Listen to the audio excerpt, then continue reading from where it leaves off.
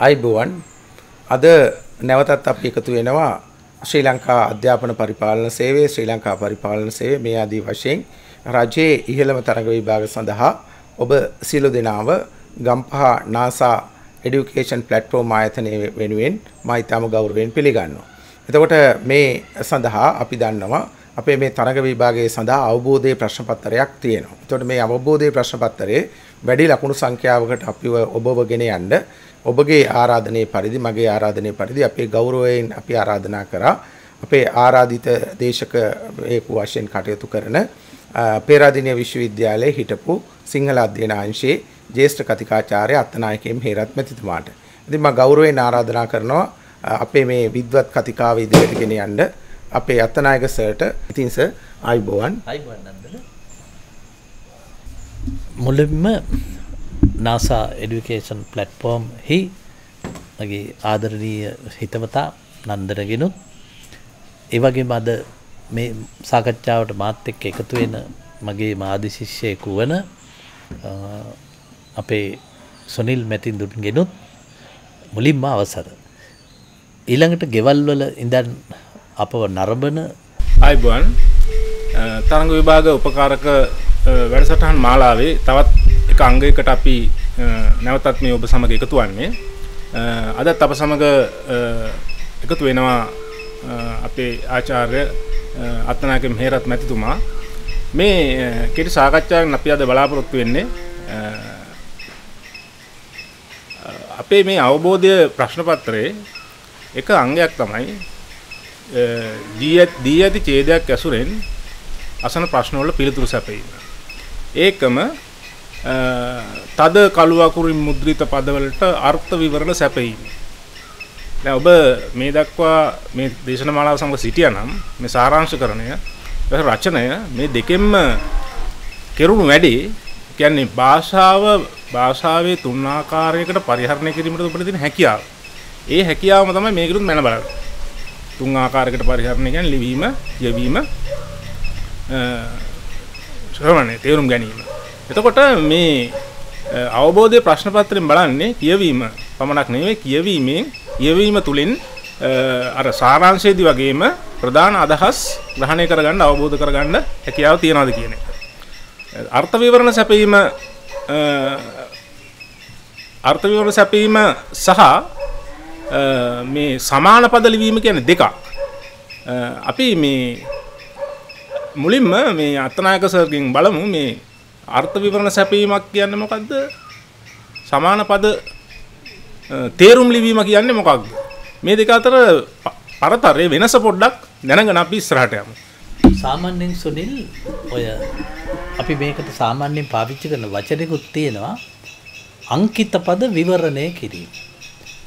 අංකිත කිව්වේ ඉස්මතු කරන ලද. තදින් කළු කළ හෝ ඉරක් ගසා හෝ ප්‍රබල විදියට මතු කරපු එක තමයි අංකිත. සාමාන්‍යයෙන් අපේ විභාගවලදී ඒ පදයක් තනි කරලා අර්ථ නිරූපණය කරන්න කියලා කියන්නේ යම් ළමයෙක් ඔය වචනේ මගෑරලා ලිව්වොත් ඒ මගෑරලා ලිව්ව වචනෙට අර්ථය එයා හංගගෙන ලියන්න පුළුවන්. ඒ හංගගෙන ලියන්න පුළුවන් එක වහන්න තමයි අපි ඒක හයිලයිට් කරන්නේ. එතකොට ඒක නැත්තම් ඔය කළු කරන වැඩේ නොතිබ්බොත් වෙන්නේ ළමයා 10න් 9ම ගන්නවා. හැබැයි යා තදින් කළු කරපු වචනේ තේරුම දන්නෙත් නැහැ. එතකොට යමක් තදින් කළු කළාම අහන්නේ ඒ වචනේ අර්ථකතනෙ. දැන් ඔබ හිතයි මොකද්ද ඒ අර්ථකතනෙ? ඒක වචනෙන් වචනේ වෙනස්. අපි හිතමු ඒකට වචනයක් දිබ්ම කියලා මොකක් හරි? ඉන්ද්‍ර චාප නැත්තං ඉන්දු සැව්. ඔය දෙකින් එකත් තිබ්බ ගමන් අපිට ඔන්න ඔය වචන නොසලකා හැරලා චේද ලියන්න පුළුවන්. ඒත් මේකෙදී අපි ඉන්දු සැව් කියලා කියන්නේ දේ දුන්න. ඉන්ද්‍ර චාපා අපිට ලියන්න තියෙන ඉන්ද්‍ර චාපා කියන්නේ දේ දුන්න. හැබැයි අපි මුල් ඡේදය ඔක ලියලා නැහැ. යම් මේකින් ඉඳු සැව්වලට අර්ථකථනයක් දෙන්න අපිට බැරි නම් එතකොට අර ඡේදයට ලැබිච්ච ලකුණු ටික අයින් කරනවා. මොකද මෙයා ඕනම වචන දන්නේ නැහැ. ඔන්න ඕකට තමයි අපි ඔය වචන ඉස්මතු කරනවා කියන එක දාන්නේ මගහරින එක වළක්වන්න. නැත්තම් සමහරු ලකුණු ගන්නවා ඕනම වචන අතෑරලා. අනික දැන් ඔබ විභාගෙට ගියාම දන්නේ නැහනේ මොකක් වෙයිද කියලා. නේද අපිට දල කිසිම දෙයක් දෙන්නේ නැහනේ මේ ප්‍රශ්න හදන්නේ මෙහෙමයි කියලා. අපිට ටෙස්ට් බුක් එකකුත් නැහනේ. ඊළඟට තව අපෙන් ඇහුවොත් භාවිතයේ පවතින වලවෙට්ටුවා. ඔය දැන් නිතර ඇහෙන වචනය වලවෙට්ටුවා. වලවෙට්ටුව කියන්නේ වනචරය. දැන් මේ වනචරය කියන වචනේ දැන් ව්‍යවහාරේ නැහැ. ශබ්දකෝෂයේ තියෙනවා. දැන් බලන්න මේ නාට්‍ය හදපු එක්කෙනා වලවෙට්ටුවා කියලා දැම්මේ වෙන මොකටවත් නෙමෙයි. ඒක දැම්මම මිනිස්සු කල්පනා කරනවා. ඒක තමයි වැදගත්. ඒ එහෙම නමක් දැම්මම මිනිස්සු හිතන කවුද වලවෙට්ටුවා? ඊට පස්සේ ටෙලිෆෝන් කර කර අහනවා දන්න දන්න අයගෙන් කවුද වලවෙට්ටුවා? ඒ එහෙම නම් දාන එක හොඳයි. දැන් දඩුබස්නාමානය කියලා දැම්ම ජයන්ත. ඉතින් කාටත් ප්‍රශ්නයක් වුණා මොකද්ද දඩුබස්නාමානය? දැන් අපි ශබ්දකෝෂය බැලුවොත් දඩුබස්නාමානයට උත්තරයක් ශබ්දකෝෂේ නැහැ. ඒ වුණාට ඒ නාට්‍යයෙන් අගවන්නේ මෙතන දණ්ඩ කියන්නේ පොල්ලක්. නැත්තම් ඊතලයක්. එතකොට ඊතලයක් එහෙම නැත්තම් පොළු කෑල්ලක් ඒක උඩින් ගිහිල්ලා වැටෙන තැන.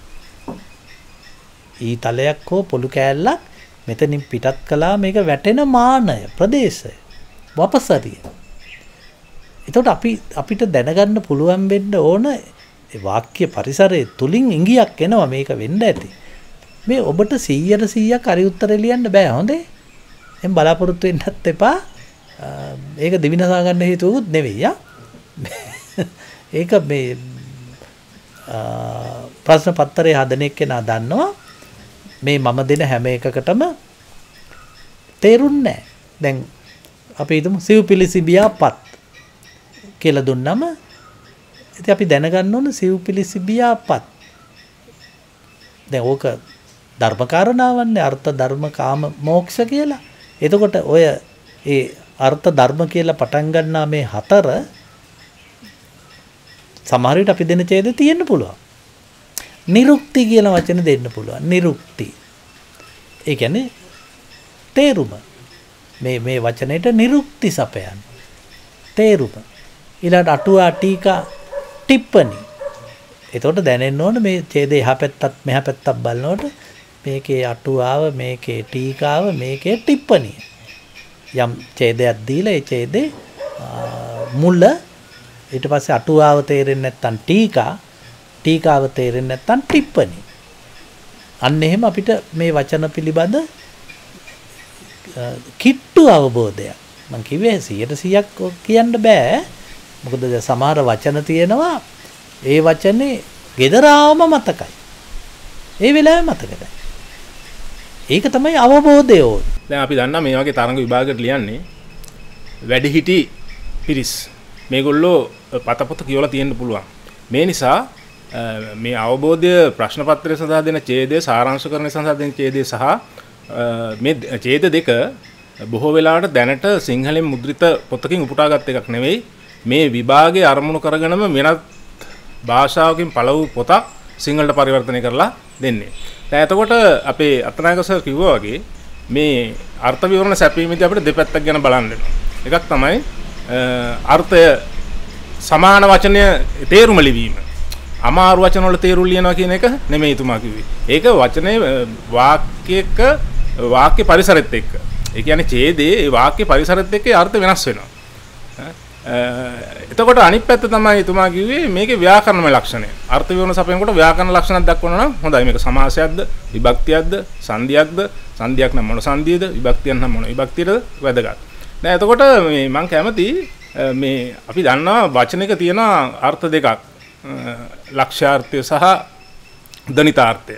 ලක්ෂ්‍යාර්ථය කියලා කියන්නේ ශබ්දකෝෂේ තියෙන මේ තේරුම. දැන් අපි බලාපොරොත්තු වෙන්නේ මේ අර්ථ විවරණ සැපීමේදී මේ ලක්ෂ්‍යාර්ථයද එහෙම නැත්නම් භාවාර්ථය. භාවාර්ථය කියලා කියන්නේ හැඟීම් ඇති කරන බව. දැන් මට අවසර දෙන්න අපේ අදුරුතුමායකට පොඩි විස්තරයක් කරන්න මොකද කලා විෂය හදා නොහාධාරපු අය මේක ඉන්නවනේ ගොඩක් නෑ එතකොට මේ ලක්ෂ්‍යාර්ථය තමයි ගොඩක් අය දන්නේ. ඒ කියන්නේ ශබ්දකෝෂ තේරුම. දැන් මෙතෙන්දී මේ දෙන ඡේදේ යම් යම් විෂයන්ට අයිති. විෂයන්ට අයිති ශබ්ද නාමාවලියක් වෙනම තියෙනවා. ග්ලොසරිය කියලා කියනවා. දැන් ආර්ථික විද්‍යාව සම්බන්ධව වෙනම ග්ලොසරියක් තියෙනවා. ගෙවුම් ශේෂ ලේඛනය සාපේක්ෂ සාපේක්ෂ න්‍යාය කියලා තව එකක් තියෙනවා. අයවැය ලේඛනය කියලා කියනවා. ඊට පස්සේ ආර්ථික කොටස් තුනක දාලා ෘතීයාංශය ප්‍රාථමික අංශය ද්විතීය අංශය තෘතීය අංශය ආදී වශයෙන් එහෙම තියෙනවා. එතකොට මේවා මේවා දැනගෙන තියෙන්න ඕන. ඒවා ඒවා ලක්ෂ්‍යාර්ථ දැනගෙන තියෙන්න ඕන. ඒකම අත්තනායක සර් කිව්වා වගේ වාක්‍ය පරිස වාක්‍ය ඡේදේ වාක්‍යයක යෙදිලා තියෙන තැන අනුවත් අර්ථ වෙනස් වෙනවා. දැන් අම්මා සඳක කිව්වහම තියෙන අර්ථ නෙමෙයි තියෙන්නේ නීල් ආම්ස්ට්‍රෝං හඳට ගියේ කිව්වහම. දැන් එතකොට පොඩි මේ පැහැදිලි කිරීමක් අපි බලාපොරොත්තු වෙන ඔබතුමාගෙන් මේ වචනක වාක්‍ය පරිසරය අනුව ඒකේ භාවාර්ථය ද ලියවෙන්න ඕන ලක්ෂ්‍යාර්ථය ගොඩක් වෙලාවට මේක ලක්ෂ්‍යාර්ථය කිව්වහම ශබ්දකෝෂාර්ථය කිව්වහම ඒක සංයුක්තයි. කියන්නේ තනි වචන ලියන්න පුළුවන්. සමාන වචන ලියව ඉවරයි. නමුත් ඔබතුමා කිව්වා වගේ වාක්‍ය පරිසරය යෙදුනහම එතන තියෙන්නේ භාවාර්ථය ඉන්නේ. එතකොට මේ භාවාර්ථය සහ ලක්ෂ්‍යාර්ථය ගැන පොඩි පැහැදිලි කිරීමක් කරලා ඒ අර්ථ විවරණ සැපීමේදී ඒක කොහොමද කෙරෙන්න ඕන කියලා විශේෂයෙන් මේ කලා විෂය ධාරාව නොහදාරපු අපේ විද්‍යාර්ථීන්ට ප්‍රයෝජනවත් වෙයි ඒක. සාමාන්‍යයෙන් අපි ඔය ලක්ෂ්‍යාර්ථය කියන්නේ නිර්දිෂ්ට අර්ථය. නිර්දිෂ්ට අර්ථය තියෙන්නේ ශබ්දකෝෂේ තමයි. ඒක හොල්ලන්න බෑ. ඒකට උත්තරේ ඔබ කිව්වා වගේම බොහොම කොටයි. භාවාර්ථය කියලා කියන්නේ ඒක උත්තරේ දිගයි. දැන් ඔබ කිව්ව අර ග්ලොසරිය. ඒ කියන්නේ පාරිභාෂික වචන. ඒ පාරිභාෂික වචන ගොඩාක් අපේ ශබ්දකෝෂේ තියෙනවා. සමහර ඒවා තියෙනවා මේ අපි ඔය කූ උපසර්ගයේ යොදලා හදලා තියෙන වචන ගොඩක් ව්‍යවහාර ලෝකේ නැහැ. දැන් උදාහරණයට ගත්තොත් කුසන්නායකය කියන වචනේ සන්නායකය කියන්නේ විදුලියට ඒකට කුයන්න දාලා අපි මේ රාජ්‍ය භාෂා දෙපාර්තමේන්තුව හැදුවා වේලිච්ච කෝට්ටක්. එතකොට වේලිච්ච කෝට්ටාවේ කුයන්නේ. සන්නායකයක් කියන්නේ විදුලිය ගමන් කරන එක. දැන් පරණ භාෂාවේ කුකවි තිබුණනේ. කුකවි තිබුණා. කුදිටු ඒවා තිබ්බා. ඒවා පරණ පොතේ තිබ්බා. කුකවි කුදිටු ඒවා පරිභාෂික නෙවෙයි. හැබැයි පස්සේ අපි පාරිභාෂික වචන අලුතෙන් හැදුවා. කුයන්න දාලා. දැන් එකක් හැදුවා කුවදිදාරණය. කුවදිදාරණය කියන්නේ දැන් කෙනෙක්ගේ දත් ටික ලස්සනට පිළිවෙලට තියෙනවා නම් ඒක අදිදාරණය. එයාගේ දත් ටික පිළිවෙලට මේ අඩු ලුහුණු නැතුව තියෙනවා. දැන් දන්ත වෛද්‍ය විද්‍යාව සිංහලෙන් උගන්වන්න ගියාම ඒකට වචනයක් ඕන වුණා. දැම්ම කුයන්. කුවදිදාරණය. ඒ කියන්නේ දත් විකෘතිය. දත් විකෘතිය. හැබැයි ඒක පරණ පොත්වල තිබ්බේ නැහැ. ඒක පාරිභාෂික වචනයක්. ඊළඟට තව පෝෂණය. අපි සාමාන්‍යයෙන් පෝෂණය කියන එකයි මන්ද පෝෂණය කියලා කිව්වේ. ඒත් පස්සේ රාජ්‍ය භාෂා දෙපාර්තමේන්තුව ඒකට දැම්ම වචනයක් කුපෝෂණය. කුපෝෂණය. කලින් තිබ්බේ මන්ද පෝෂණය. මාන්දම. මේ ගම්වල පාවිච්චි කළේ මාන්දම් හැදිලා හිටියා. මාන්දම තිබ්බා.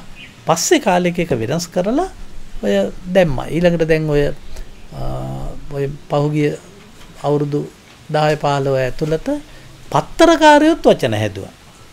දැන් අපි හිතමුකෝ කෙනෙක් යම් දෙයක් ගැන තර්ක කරනවා කියලා. ඔව් මෝඩයෙක් නම් එයාට කියන කුතර්ක. කුතර්ක. කුතර්ක. ඒ කියන්න ඉස්සරහට දාලා හදපු ඒවා. ඒ විදිහට කුපෝෂණය, කුතර්ක, කුසන්නායකය ওই විදිහේ වචන කුවදිදාරණ ඒවා පාරිභාෂික වචන. එතකොට අපි මේ භාවාර්ථ වචන කියලා කියන්නේ සොනිල් කිව්වා වගේම ඒකේ අර්ථය දැන් අම්මගේ මූණ හඳක් කිව්වම එන එක නෙවෙයි ආම්ස්ටෝන් හදට ගියා කිව්වම එන්නේ. අර අම්මා හඳකි කියන තැන තියෙන්නේ භාවාර්ථය. ඒක පළවෙනි අර්ථය නෙවෙයි. ඒක වචන එක තියෙන දෙවෙනි අර්ථය. අපි දෙවෙනි කියමුකෝ මේක දෙවෙනි කියන්න බෑ ඊටත් වඩා අර්ථ තියෙනවා. පළමු අර්ථය තමයි ශබ්දකෝෂාර්ථය. එහෙනම් සමහර විට සුනිල් අපිට දෙන ඡේදයේ වචන දිහා බලලා තීරණය කරන්න ඕන මේක අහන්නේ නිර්දිෂ්ට අර්ථයේද මෙහෙම නැත්නම් ශබ්දකෝෂ අර්ථයේද එහෙම නැත්නම් භාවාර්ථයේද? එහෙමත් නැත්නම් ව්‍යාකරණද? මොකද ඒ ඒ ඊව ටිකක් හදාගන්න ඕන ඊළඟට භාවාර්ථය කියලා අහන්නේ ඒක වචනයක තියෙන හැඟුම්. ඒක මේ වගේ විභාගවල බොහොම කලාතුරකින් අහන්න. මොකද හේතුව අපේ දරුවෝ ගොඩක් මේ අපේ විෂය හදාරලා නැහැ. ඒද අපි සිංහල පොඩ්ඩක් ගෑවිච්ච එකෙකුට නම් ඕකේ භාවාර්ථය කියන්න පුළුවන්. මෙන්න මේකේ තියෙන මෙන්න මෙහෙම මේ හැඟුම්බර දෙයක් දැන් අපි හිතමුකෝ පිස්සන්තර කවි පොතේ කවියක් දුන්නොත් කැලේ තියෙන කොයි දේවත් රස වේවා එතකොට අපේ ඉර ගහලා තිබුණොත් කැලේ තියෙන කොයි දේවත් ඒකේ භාවාර්ථය ගත්තම තමන්ගේ මේ රජ්ජුරුව මේ කැලේ යනවා. එතකොට කැලේ යනකොට මේ මේ කවුද අපේ සිද්ධාර්ථ ගිහින්ගේ නික්මලා යනවා. යනකොට යසෝදරානේ මේ අඬන්නේ. එතකොට යසෝදරා අඬ අඬ කියනවා කැලේ දේන කොයි දේවත් රස වේවා. එයා හොඳටම දන්නවා කැලේ රස දේවල් නෑ. මෙයාට කඩ වෙන්නේ ජරාවම තමයි. හොඳ කෑම නෑ. එතකොට හොඳ කෑම නෑ කියනවට වඩා හොඳයි කැලේ තියෙන කොයි දේවත් රස වේවා. ඇය හොඳටම දන්නවා වාට රස කෑම නම් හම්බ වෙන්නේ නෑ. මොකද ඒ වචන කැටියෙන් ඇඟ වෙන්නේ සෝදරා මේ යන්න එපා. යන්න එපා අපහු එන්න. ඔය ගමන වැඩක් නැහැ. අව්වේ තියෙන රැස්මාලා අඩු ඒවා. යසෝදරා ස්ථීරවම කියනවා. අව්වේ රැස්මාලා අඩු වෙන්නේ නැහැ. ඔයාට යන්න බෑ. බලන්න අර ගැහණියක් තමන්ගේ සැමියාට යන්න එපා කියනවට වඩා හොඳයි වෙන ක්‍රමයකට කියන එක. දැන් අපි හිතමු සමහර විට මේ සැමියෙකුට තරහා ගිහිල්ලා බිතිදත් එක්ක මේ යන්න යනවා මං යනවා යන්න මට බෑ ඉන්න කියලා කරන් ටිකත් කීල්ල ගාගෙන යන්න යනවා. එතකොට යන බිරිඳ සැමියට බිරිඳ කතා කරලා කියනවා මේ ඕම ගිහිල්ලා හරියන්නේ නැහනේ. මෙන්න මේ රුපියල් 100ක් අරගෙන යන්න කියලා. එතකොට මිනිහා ඒක අරගෙන කියනවා ඔච්චර කියනවා නම් එන්නම් කියලා ගෙටෙනවා. එතකොට අර බිරිඳ සල්ලි දුන්නේ යන්න නෙවෙයි. ඒක තමයි යන්න එපා කියන්නේ. ඒක කිව්වේ වෙන ක්‍රමයකට. ඒ වගේ තමයි යසෝදරත් කැලේ තියෙන කොයි දේවත් රස වේවා. අව්වේ තියෙන රැස්මාලා අඩු වේවා. ගව්වෙන් ගව්ව දිව මාලිග සෑදේවා.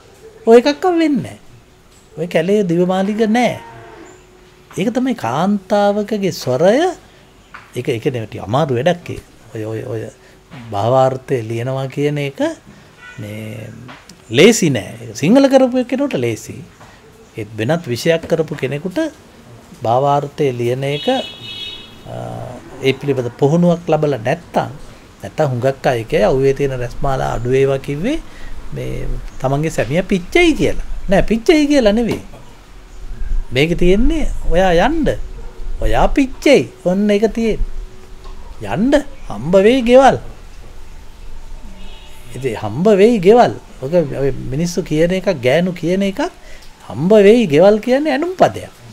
හම්බ වෙන්නේ අනික ලංකා ඕනම ගෑනියෙක් පැනල යන මිනිහට කියනවා හම්බ වෙයි මං වගේ ගෑනියෙක් හැම එක නම කියන හම්බ වෙයි.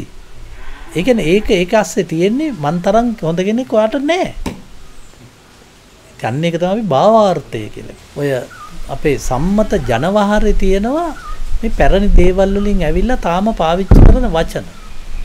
දැන් උදාහරණයක් ඇරෙට ගත්තොත් අපි කියන කැනි මණ්ඩල. ඒතර කැනි මණ්ඩල වගේ වචනයක් ඒකේ නායන්න මූර්ධජ අපි අහලා තියෙනවා. ලස්සන වචනයක්. දැන් මේ වචනේ හදාගෙන තියෙන වහලෙන්. දළදා මාලිගාවෙත් කැණි මණ්ඩල තියෙනවා. ඊළඟට පාදිනිය පන්සලෙත් කැලි මණ්ඩලත් තියෙනවා. ඒක හදන්නේ වහලේ එක ලීයක් මැද්දට දාලා අනිත් සියලු ලී ඒකට අනලා තියෙන. මෙහෙම මෙහෙම ඇනලා තියෙන. සාමාන්‍යයෙන් අපේ ලීවල අපි දාන්නේ මෙහෙම ලීය දාලා ඒකට මෙහෙම මෙහෙම පරාල ගහන එක. කැනි මණ්ඩලෙදි තියෙන්නේ මේ විදිය ලීයක් අරගෙන ඒකට හතර වටින් ලී ගහනවා. මේ වචනේ හදාගත්තේ ක්‍රිෂ්ණ මණ්ඩලේ. ඇහෙන්. මේ අපේ ඇහි බබා දිහා ටිකක් කරලා බලන් හිටියොත් අපිට පේනවා මෙහෙම විහිදෙනවා. ආන්ගේ විහිදෙන එක තමයි කැනි මඩල. මේ ඇහැ බලලා ඇහි කළු ලපේ මෙහෙම විහිදෙන දේ තමයි ක්‍රිෂ්ණ මණ්ඩලේ. ඇහි වචනේ ඔය තියෙන්නේ. එතකොට මේ කැනි මණ්ඩල කියන වචනය සමහර විට මේක ජාතක පොතේ තියෙනවා. ජාතක පොතේ එක තැනක තියෙනවා එක ඇමතියෙක් ඉන්නවා මේ රජ්ජුරුව හරීම ඇමතිවරුන්ට වෙනස්කම් කරන. එක ඇමති කෙනෙක් එක යාළුයි අනික් ඇමතිය දිහා බලන්න. පස්සේ රජ්ජුරුව එක ගිහිල්ලා ඉන්නකොට එක්තරා කැනිමණ්ඩලත් තිබ්බ තැනට ගියා කැනිමඩ ළඟට ගියාම ඒකේ තියා බල්ල රජ්ජුරු අහනවා මේක මොකක්ද මේ? මොකක්ද මේ ලී දාලා තියෙන විදිය? එතකොට ඇමතිතුමා කියන රජතුමනි ඔය කැනි මණ්ඩලේ ලී ටික හයි වෙලා තියෙන්නේ මෙන්න මේ පොල්ලටනේ. එහෙම එහෙම. ඔව් ඒක තමයි මම මේ බැලුවේ. සාමාන්‍යයෙන් ඔහොම දාන්නේ නැහනේ. වැගෙන රජතුමනි ඔය පොල්ලට මේ ලී ටික මෙහෙම මෙහෙම ගහලා තියෙනවනේ. ඉතින් මේන් එක ලීයක් ගැලවුණොත් මුළු වහලම බිම. හැබැයි වහලක එක පරාලයක් ගැලවුණා කියලා වහල කඩම් වැටෙන්නේ නැහැ. ඒ පරණ ඒ මොකද්ද රජතුම මේ මේ ඇමතිතුමනි ඒ කතාවේ තේරුම නෑ. ඒකේ තේරුම තමයි රජතුමනි එක ඇමතියෙකුට නොසලකා හිටියොත් ඒ ඇමතියා තරහ වෙනවා. එතකොට වෙන්නේ ඇමති මණ්ඩලයේම කඩම් වැටෙනවා. ආං රජ්ජුරුවෝ ඒකෙන් තේරුම් ගන්නවා මම ඇමතිවරුන්ට විශේෂයක් කරන්න හොඳට හැම කෙනාටම සාධාරණව සලකන්නවා. එතන ඔය වචන තියෙනවා. කැනි මණ්ඩල හෙවත් ක්‍රිෂ්ණ මණ්ඩලේ. මොකද දැන් අපේ තියෙනවා නිසුනිල් ඔය සමහර වචන පෙන්නුම් කලාම ද අප හිතමු අපිට ඉරක් ගහල දෙනවා කියලා පිළිවෙල. එතකොට පිළිවෙල කියන එක අකුරු ටික හරි. මුරුද ජලා යන්න අගට මුර්ධ ජලා යන්න දැම්මට කමන්නේ ඊට පස්සේ අපිට තියෙන්නේ ඇයි මේක මුර්ධ ජලයනු දෙකක් ආවේ? ඉතින් එතකොට අපිට කියන්න තියෙන්නේ මේක ආවේ මාතෘ භාෂාවේ මාතෘ භාෂාවේ පටිපාටි කියන එක තමයි ඔය. මාතෘ භාෂාවේ ට සද්දේ සිංහලට ල වෙන. එතකොට එතන වෙන්නේ පිළිවෙල. ඒක දැනගෙන ඉන්න ඕන අපි. මොකද නැත්තං සුනිල් මේ යම් දෙන නනලල අකුරක් හේතු විරහිතව ලියන්න බෑ. ද අප හිතමු කල කියලා දීලා තියෙන මුරුද ජලායන් එතකොට අපි යටින් ලියන්න ඕන මේක මාතෘ භාෂාවේ කට. කට. මාතෘ භාෂාවේ කට කියන එක තමයි සිංහලේ කලවෙන් දාටා දළදා වුණා. වගේ. දාටා දළදා මුර්ධ ජලයන් ඒ වගේ මල් මව්භාසාාවේ ට සද්ද සිංහලට එන්නේ මුර්ධජ වෙලා. මොද මේ ළඟදි මම දැක්ක පෙස්බුක් එකේ තියෙනවා වචනයක් මේ කනමදය වගේ බීලා. කනමදය වගේ බීලා. මොකක්ද කනමදය වගේ බීලා? ඉලට එක යට එක් කෙනෙක් දාලා තියෙනවා.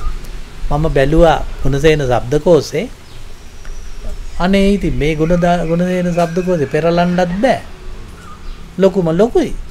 ඒත් මේ සබ්දකෝසේ මේකට තේරුම නෑ කියල දාලා තිබුණ.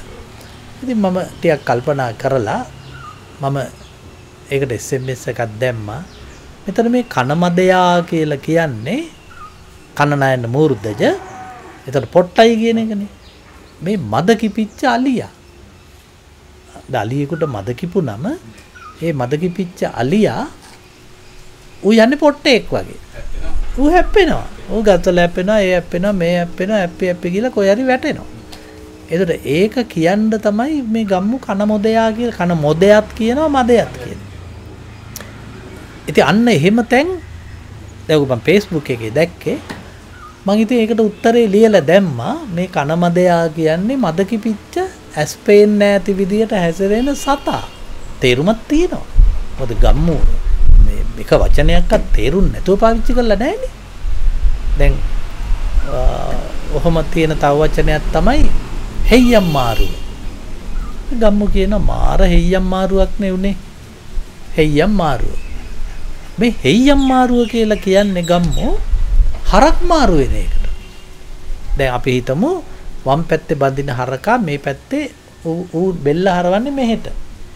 මේ පැත්තේ එකා බෙල්ල හරවන්නේ මෙහෙට. සමහර ලාවට අපිට වැරදිලා මේ හරකා මෙහෙ බැන්දොත් එන්නේ කරත්තේ යන්නේ නැහැ. මොකද එයාට බෙල්ල මෙහෙටනේ යන්නේ. අරයා බෙල්ල මේ පැත්තට. මොකද ඒගොල්ලෝ නිතරම මේ පැත්තට බෙල්ල හරවන්නේ නිතරම මේ පැත්තට තමයි බෙල්ල තියාගන්නේ. මෙයා මෙහෙට. දන්නේ නැති එකෙක් ඇවිල්ලා මේ පැත්තේ අරක මෙහෙ බැන්දම මේ පැත්තේ අරක මෙහෙ බැන්දම ඌ ගල් ගහිලා වගේ. දැන් මේක භාවාර්ථයක්.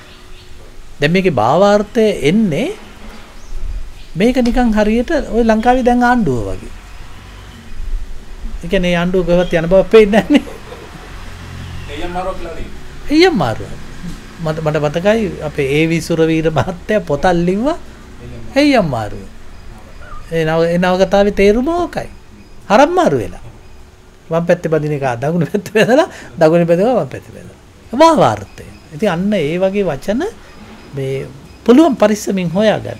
කල්පනා කළොත් මේ විදිහේ දුර්ලභ වචන අපිට හොයාගන්න පුළුවන්.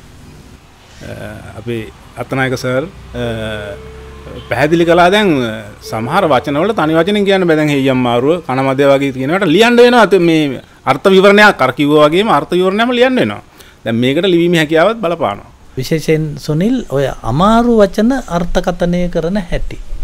තොට අමාරු වචනයක් කොයි විදියටද තේරුම් ගන්න.